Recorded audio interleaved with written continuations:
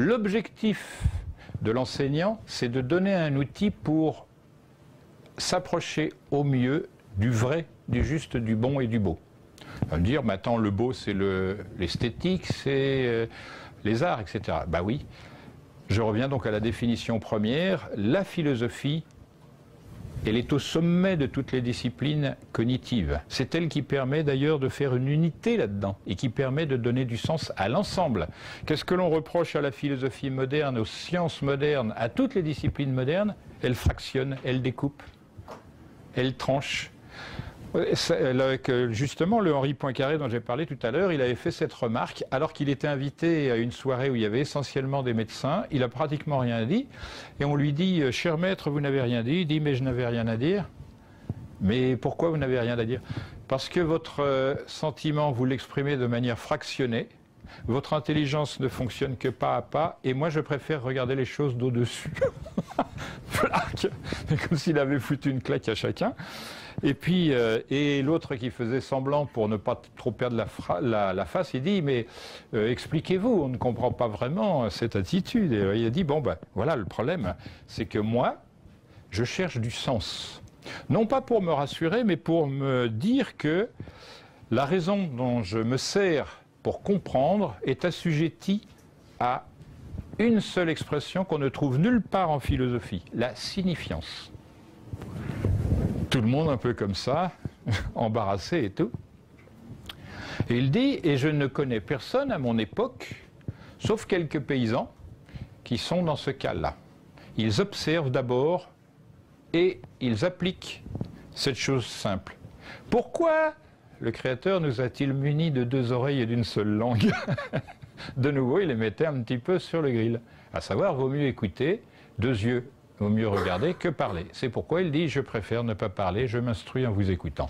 Et avec cela, comme il était habile, dialecticien, il a réussi à remettre la paix, c'est-à-dire en disant je préfère m'instruire en vous écoutant que continuer à vous massacrer parce que vous le valez bien.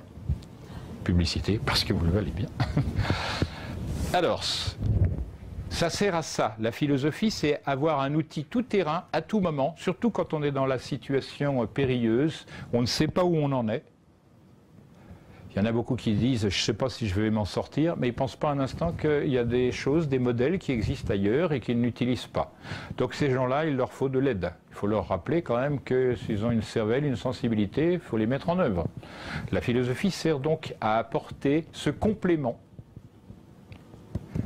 qui permet de passer d'un point de vue à un autre, soit horizontalement, soit verticalement. C'est-à-dire du point de vue du principe, on dit, voilà, je viens de perdre quelqu'un qui m'était cher. Cette disparition est subite, inattendue, catastrophique, etc. Si on ne s'élève pas, on ne sortira pas de là. C'est comme le labyrinthe. Le labyrinthe, c'est tellement compliqué, c'est tellement toujours le même mur que l'on voit, mais avec des angles, etc., qu'il n'y a aucun moyen objectivement de sortir de là. Il y a deux possibilités, dont une qui n'est pas vraiment praticable, c'est creuser.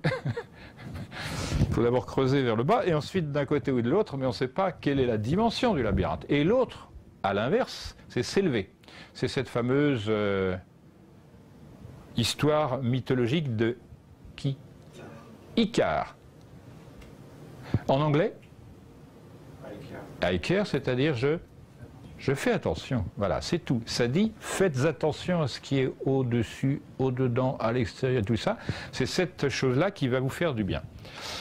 Comme tout le monde, ou quasiment tout le monde, il m'est arrivé d'être dans ces situations-là, et le meilleur qu'il y a lieu de faire, c'est retourner dans la nature, aller se promener. Quelquefois, c'est insupportable. On voit le soleil qui brille, c'est comme une injure. On entend les oiseaux, c'est comme s'ils nous insultaient. C'est terrible. Mais il faut tenir minute après minute, heure après heure, jour après jour, semaine après semaine, jusqu'à avoir quelques années pour que les choses s'apaisent. Les anciens disaient le temps est un grand médecin. C'est vrai. Après, ça n'est qu'un souvenir, on se dit euh, j'ai survécu. Et on se retrouve avec cette fameuse phrase d'un célèbre euh, zozo allemand, Nietzsche. Qu'est-ce qu'il disait Nietzsche à propos des épreuves? Ce qui ne te tue pas te rend plus fort. Voilà.